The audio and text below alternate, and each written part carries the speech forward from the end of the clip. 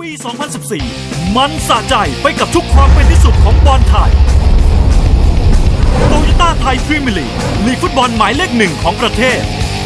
เชียร์กันให้สะใจ 380 คู่ต่อฤดูกาล และเชียร์สดคมชัดแบบ HD 1 คู่ต่อสัปดาห์ยามาฮ่าลีกวันลีกอันดับ 2 ที่ความมันไม่เป็นรองใคร ก็มีให้ได้เชียร์กันทุกสัปดาห์รวมไปถึงศึกบอลถ้วย 2 รายการอันทรงเกียรติ มูลนิธิไทยคม FA ครับ และโตโยต้าลีกครับ ความยิ่งใหญ่แบบนี้เฉพาะที่ TrueVisions ที่เดียว สัมผัสฤดูกาลความมันคมชัดแบบ HD ที่ True Vision The King of Sports กลับมาติดตามกันในช่วงสุดท้ายครับของรายการ Toyota ไทยพรีเมียร์ลีกไฮไลท์นะครับ เดี๋ยวช่วงนี้ไปดูผลงานของทีมที่กำลังลุ้นแชมป์กันทั้ง 3 ทีมครับ เริ่มต้นที่ BC เทโลศาสนะครับ เล่นในบ้านเจอกับเพื่อนตำรวจครับ แฟน2,219 คนนะครับมนุษย์ปานสาครผู้ตัดสิน BC แพ้ทิวทีมา 1-2 ส่วนตำรวจก็แพ้ราชบุรีมา 1-2 แพ้มาเหมือนกัน ต้องชนะอย่างเดียววันนี้ถึงมีโอกาสที่จะยืดลมหายใจการลุ้นแชมป์ของทางโคเซอเวสส่วนอัตพลเองทีมมี 33 คะแนน ต้องเก็บ 3 คะแนนให้ได้ ถึงจะหนีโซนแดงออกไปนะครับ เริ่มมาเป็นเจ้าถิ่นได้ทักทายก่อนแล้วก็ 1-0 เลยครับ โดย ลูกยิงของจิรวัตรมัคคารมนาทีที่ 10 เท่านั้นพิริพัฒน์ลุยขึ้นมานะครับพิรวัตรนชยาลุยมาแล้วให้กับจิรวัตรยิงไปฉลับกองหลังทำให้สมพงษ์ยอดอาจในประตูเพื่อนตำรวจก็หลงทาง น่าจะเป็นประตูแรกจิรวัตรที่ยิงให้กับทาง BC ที่เขาย้ายมาอยู่ในเล็กที่ 2 นะครับ 1-0เจ้าถิ่นขึ้นนำต้องชมการลุยของทางพีรพัฒน์นชยาที่ลุยมาดีแต่มาลูกฟรีคิกเอ่อเป็นจิรวัตรปั่นแล้วก็2-0โอ้บทจะยิง2ประตูรวดเลยครับครับจิรวัตรจากประตูแรกนาทีที่10มาประตูที่2นาทีที่17ครับ2-0เจ้าถิ่นทิ้งห่างออกไปได้เร็ว เริ่มความมั่นใจว่าวันนี้ไม่น่าจะเจองานยากแน่บอลตกลงพื้น สมพงษ์เองก็ไม่ทันแล้วครับ เมื่อยิงได้เฉียบขาดมีทั้งซ้ายของรังสรรค์และขวาของจิรวัตรแล้วลูกเตะมุมของทางเพื่อนตำรวจมาตีไข่แตกได้โดยคิมแตมินกองหลังครับ ประกอบเป็นพักที่เปิดขึ้นมา ให้กับคิมแตมินขึ้นเปลี่ยนทาง แสกหน้าของทศพรก็ไล่มาได้ นาทีที่ 42 ครับ ที่เพื่อนตำรวจกลับขึ้นสู่เกมจากลูกเตะมุมแล้วลูกสุดง่ายตอนนั้นเนี่ยจิรวัตรเจ็บโดนเปลี่ยนตัวออกไปแล้วนะครับขณะที่โค้ชตั้งจะเปลี่ยน 2 คนหนึ่งใน2คนที่เปลี่ยนลงมาคือประกรณ์เปรมพักคนที่เปิดบอลลูกที่เอ่อคิมตามินหม่งได้ แล้วดูลูกนี้ประกรณ์คนเดิมครับๆอื้อหือก็ลงมาได้ผลเลยครับ เปิดให้กับทางดานโนเซียกา แปรเข้าไปง่ายๆกองหลังของ BC ป้องกันไม่อยู่นะครับ นาที 43 ตีเสมอได้ 2-2 ไม่น่าเชื่อ BC นำ2-0 แป๊บเดียวครับท้ายครึ่งแรก ถูกตีหัวจากประกรณ์เบิ้ลมา แล้วอื้อหือตัวแรกคือพิเชลเมอร์ซี่หลอกใช่ครับเรามาถึงดันเซกาจบครึ่งแรกเสมอ 2-2 คู่นี้ นัดแรกเสมอกัน 1-1ปีที่แล้ว BC เฉือนไป 3 ประตูต่อ 2 นะครับหรือปีนี้จบครึ่งแรก 2-2 แบบนี้ครึ่งหลัง หรือว่าใครจะทำได้ดีกว่ากัน BC ลุย ลุยมาแล้วบอกเข้าไปข้างในมีมีชนกันผู้สินชี้เลยครับพลปัสกรชี้เป็นจุดโทษที่ BC ได้โอดี BC ไม่ได้จุดโทษมาเมื่อนานมาแล้วนะครับ จนลืมเราได้มาสุดท้ายเมื่อไหร่ของ BEC มาได้ครั้งแรกจตุรงค์โดนอดุลมาดูจังหวะโดนอดุลครับอดุลครับโดนอดุลไปเบียดผู้สินมองเป็นจุดโทษก็ทำให้ BC ได้ยิงโดยรังสรรค์กับตันทีมหลอก สมพงษ์ไปคนละทางขึ้นนำอีกครั้งครับ BC 3 ประตูต่อ 2 นาทีที่ 59 หลังจากที่ถูกไล่ตีเสมอมา ดูลูกจุดโทษของรังสรรค์ยิงได้เฉียบขาดนะครับ ให้สมพงษ์เลือกก่อนนะครับพอเลือกปุ๊บก็เสร็จเลยครับ มาลูกเตะมุมของรังสรรค์ปั่นไปทางเสา 2 มีกิวาสะโขกให้กับโชชิโมจิ 4-2 เริ่มที่จะไหลแล้วครับ นาที 69 ที่ BEC เริ่มทิ้งห่างออกไปลูกเตะมุมลูกสูตร ไม่มีตัวประกบอิวามาสะก็เสร็จอย่างนี้ครับ ตอนนี้เขาเริ่มที่จะไม่โขกเองแล้ว เพราะว่าถูกจับทางได้โขกตั้งครับโอ้โหมีมีก๊อกสองก๊อกสามเมื่อกี้อิวามาสะนี่เมื่อก่อนโขกทำเองตัวนี้นี่ครับโขกตั้งให้กับโชชิโมจิว่าเป็นแผนที่ซ้อมมาโดยคู่ต่อสู้ไม่ทันแล้วดูทะลุมาสวนมาอย่างนี้ประตูโล่งๆไม่พลาดแล้วครับโชชิโมจิ 5 ประตูต่อ 2 ช่วงทดเวลานาทีที่ 3 ที่ BC ตอก ประตูฝาโลงให้กับเพื่อนตำรวจในเกมนี้ 5 ประตูต่อ 1 ตอกย้ำชัยชนะแหละครับดูจังหวะโต้มาเพื่อนตำรวจก็ขึ้นกันหมด หวังจะไล่มาแต่เมื่อขึ้นแล้วจบไม่ลงโดนสวนมาก็เสียท่าแบบนี้ครับ ในช่วงท้ายเกมดูโชว์ลมแบบนี้ไม่สะดุดยอดย่าแล้วครับ ยิงใจเย็นมากครับธีรคพรังบศ์ดีหามแหจะพยายามจะมาสุดตัวยังไงก็ไม่ทันแน่นอนครับครับ คือไม่มีทางเลือกเมื่อทีมตามเยอะโค้ชแท็กสั่งลูกทีมดันดันแล้วหลังลอยครับเวลาโดนโต้มา ก็เจอสถานการณ์แบบนี้ได้ครับแล้วก็จบเกมเป็นว่า BC ทำได้เอาชนะ เพื่อนตำรวจไปได้ 5 ประตูต่อหนึ่ง BC ยังอยู่ในเส้นทางที่ลุ้นแชมป์ไม่ว่าจะยากสักหน่อยก็ตามแต่ เพื่อนตำรวจเองก็ยังอยู่ในโซนอันตรายอยู่เหมือนกันครับคู่ต่อไปครับไปที่สนามไอโมบายสเตเดียมดูจ่าฝูงครับบุรีรัมย์ยูไนเต็ดต้อนรับการมาเยือนของอาร์มี่ยูไนเต็ดครับเป็นเกมที่บุรีรัมย์ต้อง 3 คะแนนเพื่อที่จะให้ช่องว่างของพวกเขากับชลบุรีให้ห่างเท่าเดิมให้ได้ แฟนๆ18,500 659 คนนะครับอำนาจของคนนี้ผู้ตัดสิน ชนะมา 2 นัดติดกับบุรีรัมย์ชนะเอสจีมา1 0นัดที่แล้ว ส่วนอาร์มี่แพ้สุพรรณมา0-4ไม่ชนะมา 2 นัดเอลิสตีเวนโดยแพ้1เสมอ1มันยันทำเสืออย่างไอโมบายจะเป็นอย่างไรบ้าง บุรีรัมย์เป็นจ่าฝูงต้องการเพิ่มช่องว่างให้เท่าเดิมก่อนจะเริ่มสัปดาห์นี้ให้ได้หลังจากชลบุรีไล่มาแล้วเริ่มมาเป็นสุพรรณได้ทักทายก่อน กาเวปาตินโยก็ขอไปขอขอไปครับเป็นอาร์มี่บอตติครับอาร์มี่ชุดสีขาวครับอาร์มี่ได้ยิงก่อนครับหนึ่งประตูต่อศูนย์โดยบอตติครับ ยิงให้กับทางอาร์มี่ขึ้นนำจากบอลทุ่มง่ายๆบอลทุ่มมาง่าย ๆ แล้วยิงได้เข้าข้อดีเหลือเกินดูครับแต่งแล้วตวัดด้วยขวาโอ้โหคือเขาจงใจเลยนะครับที่จะเอ่อตบให้บอลเนี่ยมันเด้งขึ้นมาเพื่อให้เข้าข้อได้ซัดระยะไกลแบบเนี้ยได้แรงมากนะครับ ดูศิวรักษ์เห็นแต่ปัดไม่โดนนะครับ พอถูกขึ้นนำก็ลุยมาทางขวา โดยนิติพงศ์เปิดเปิดเข้ามาที่เสาแรกมีตัวโฉกเข้ามาโขกอย่างปาตินโยตีเสมอได้ 1 ประตูต่อ 1 นาทีที่ 15 นะครับ ถูกนำนาทีที่ 2 ใช้เวลาอยู่ 13 นาทีตีเสมอได้ แฟนในไอโมบายก็หวังว่าน่าจะแซงได้เมื่อเป็นอย่างนี้มาดูว่าจังหวะของนิติพงศ์ก่อน บอลตวัดได้อย่างสุดยอดนะครับบอลโด่งมาแล้วปาตินโยมาจากไหนไม่มีใครทราบครับโขกซวบเข้าไปหนึ่งหนึ่ง บุรีรัมย์ตีเสมอได้ หลังจากเริ่มเกมมาแบบช็อกแฟนๆโดยบอตตินะครับ อันนี้ความหวังก็เริ่มมีมาแต่ว่าอาร์มี่ก็มาดีเหลือเกิน มีจังหวะลุยเราซัดของหลุยส์คาร์ลอสเล่นเอาสิวรักษ์เองก็ต้องบินบินเช็คเสาเหมือนกัน ไม่เข้ากรอบครับ ยังหนึ่งหนึ่งอยู่แล้วบุรีรัมมาบ้างแต่ว่าโขกตรงนี้ของอดิศักดิ์ไกรสอนก็โดนคาน ตัวซ้ำก็มาไม่ทันยังแซงไม่ได้เพราะจากริมเส้นมาแล้วอดิศักดิ์ขึ้นขึ้น แรงไปนิดเดียวเท่านั้นที่สราวุธที่ออกมาไกลเส้นแล้วครับยังหนึ่งหนึ่งมาดูลูกเตะมุมของบุรีรัมย์ไปทางเสาสองมีตัวโขกแล้วปอกแปกไม่มาเลยมาเข้ามือของสราวุธกองลาบครับอ่าดูจบครึ่งแรกเสมอกันหนึ่งหนึ่งคู่นี้ไปที่นัดแรกเจอกันก็เสมอสองสองปีที่แล้วบุรีรัมย์ชนะ3 0 นะครับ ที่บ้านของบุรีรัมย์มาดูว่าปีนี้จะเป็นอย่างไร เป็นอาร์มี่ได้ทักทายอีกครั้งหนึ่งโดยหลุยส์คาร์ลอสครับเล่นเอา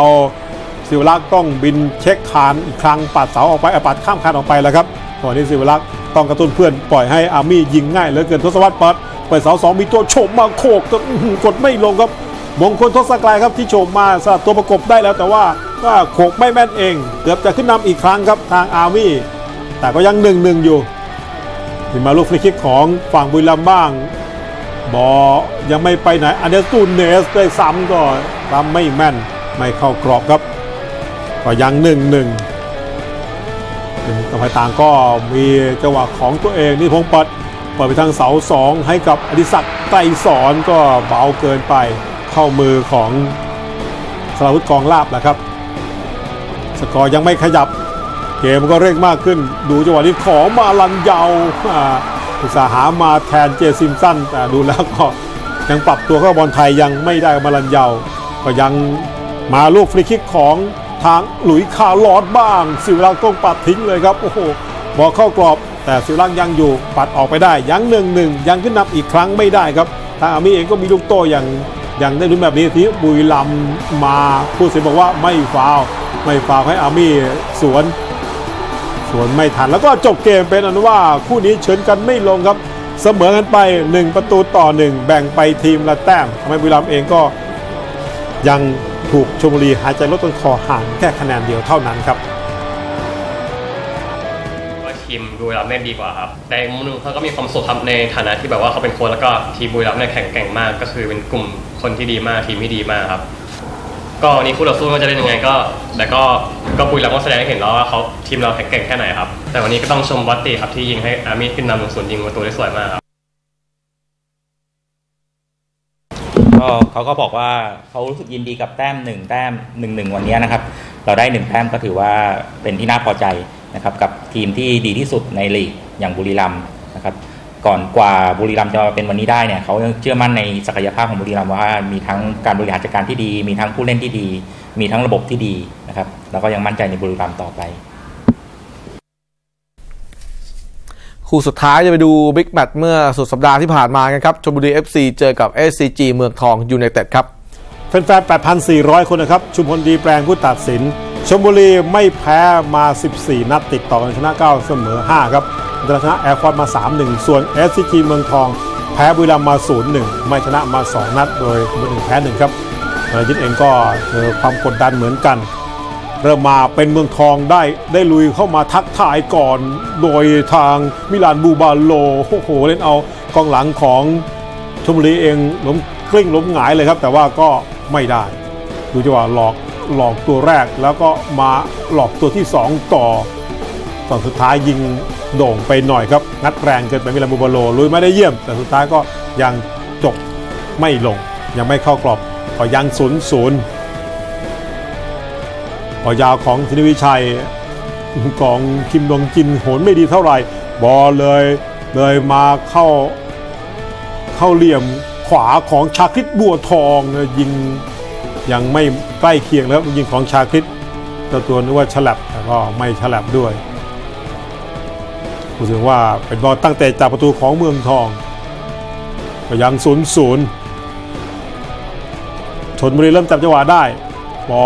มาถึงนูรุนศรียันเกมปั่นไซอะไซไม่พอแล้วก็โด่งไปด้วยครับลูกยิงของเขากัดใจไซก้อยเสียบหน้าต่างเสาสองแล้วยึดเองก็ออกมากระตุ้นลูกทีม ให้ลุยใส่กับทางชมบุรีจบครึ่งแรกทำอะไรกันไม่ได้เสมอ0 0คู่นี้นัดแรก เอสจีเมืองทองชนะ 1-0 ไปที่แล้วเมืองทองก็มาชนะ 2-0 นะครับดูปีนี้จะเป็นอย่างไร แต่ครึ่งแรกยัง 0-0 อยู่ ครึ่งหลังชมบุรีลุยบอลยาวๆ มาให้เทียโก้คุนญ่าก็ไม่เข้ากรอบขึ้นโขกสลัดตัวประกบได้แต่ว่าไม่แม่นพอครับเทียโก้ยังไม่ทำให้กวินต้องเซฟตัวตัวประกบหลวมเลยครับแต่เขาก็โขกแรงไปหน่อย มีมาจังหวะของทางฝั่งเมืองทองโดยมิลานบูบาโลบ้างโอ้โหมีช่องแล้วก็เลยยิงเพื่อนขออยู่ก็ตามแต่ขอมีช่องขอซัดปริ้นไปหน่อยครับมิลานอ่าความแม่นยังไม่มาฝั่งนี้ก็เครียดเมื่อยังขึ้นนำไม่ได้ลูกฟรีคิกของทางฝั่งชาคิดบัวทองเองก็ยังไม่เข้ากรอบครับของชนบุรียังศูนย์ศูนย์อยู่ เริ่มทักทายเข้ามาใกล้เคียงมาขึ้นจังหวะโต้กลับเร็วอ่าครับดูจังหวะนี้ ของทางชมบุรีบอลไม่รับไม่ล้ำหน้าของนูรุนศรียันเกนชิปชิปมาครับกวินปัดทิ้งออกไปได้ บอลทำได้ว่าจะฮุกชนคานแต่ว่าดูใจไม่แน่ใจว่าจะชิปทำประตูหรือจะชิปมาให้กับติโก้คุณญาติบอลปิ้นหากรอบ แล้วโอกาสของดัสกรทองเหลาบ้างไม่เข้ากรอบเหมือนกันทองทองก็มีจากลูกฟรีคิกที่มาดูเป็นจังหวะของเตียโก้คุณย่าบ้าง 1-0 เลยครับ เป็นประตูสุดสวยประจำสัปดาห์นี้ที่ 66 ที่ ชนบุรีขึ้นนำจากลูกฟรีคิก ที่ติโก้คุณย่าทำได้แม่นยำเหลือเกิน เกมที่คู่ขี้สูสีใกล้เคียงกันมากก็ตัดสินด้วยจังหวะแบบนี้ครับ โดยเตียโก้ดูว่าคนเปิดช่องให้เป็นใคร อืมเป็นก็เป็นทางชลบุรีที่เปิดช่องให้ครับจังหวะช่องนั้นให้กวินเข้าไปไม่ทัน 1-0 ที่ชลบุรีขึ้นนำพอถูกขึ้นนำเมืองทองก็พยายามจะลุย แล้วสักวันเปิดมาของคิมดวงกินไม่ดีอย่างนี้บอทะลุช่องไม้กับพี่พอ่อนโมตัวสำรองปิดเกมนี้เลยครับนาทีที่ 91 ครับ ที่ชมบุรีทิ้งห่างออกไปเป็น 2 ประตูต่อศูนย์ฝั่งทีมงานชมบุรีก็มั่นใจว่าถ้าเป็นแบบนี้กับเวลาที่เหลืออยู่น่าจะ 3 แต้มได้แน่ๆดูจังหวะบอลทุ่มของเมืองทองแท้ๆครับแต่เล่นกันพลาดก็ทำให้โดนชมบุรีเอามาเก็บกินแบบนี้ 2-0 ดูมุมหลังประตูแล้วที่พบหลอกกวินหนึ่งสเต็ปก่อนที่จะทิ้มเปลี่ยนทางง่ายๆหนีหนีบอด้าในบอด้าก็ไม่กล้าเหนียวแล้วครับกลัวจะเสียจุดโทษทำให้ชนบุรีได้ประตูที่ต้องการในช่วงทดเวลาเมืองทองก็ลุย หวังจะเอาประตูตีไข่แตกให้ได้ แต่แถว 2 ไม่เคยตามมาก็เลยไม่ได้จบนะครับ แล้วก็จบเกมไปนะว่าชลบุรีทำได้เอาชนะเอสจีเมืองทองไปได้ 2 ประตูต่อศูนย์ทำให้เมืองทองแพ้ 2 นัดติดต่อกันแล้วตกมาอยู่ที่ 4 ของตารางเลยครับ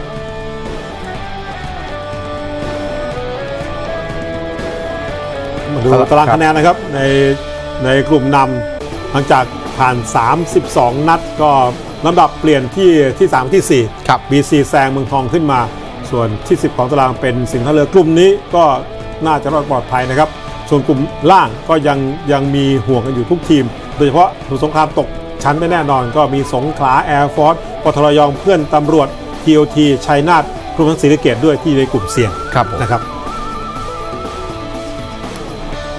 ก็ยังมีโปรแกรมตกค้างกลางสัปดาห์นี้ครับพุธที่ 27 สิงหาคมโอสถสภาเอ็มร้อยห้าสิบสระบุรีเจอกับเชียงรายยูไนเต็ด18นาฬิกา True Sport 6 คู่ที่จริงๆต้องเตะวันที่ 20 สิงหาคมที่ผ่านมา แต่ตอนนั้นสนามราชมังคลากีฬาสถานของโอสถสภาเนี่ยใช้แข่งขันฟุตบอล เยาวชนหญิง ชิงแชมป์อาเซียนรุ่นอายุไม่เกิน 19 ปี ก็เลยต้องเลื่อนมาแข่งกันในวันพุธนี้แทนครับครับผม นั่นก็คือล่าสุดของการแข่งขันฟุตบอลโตโยต้าไทยพรีเมียร์ลีก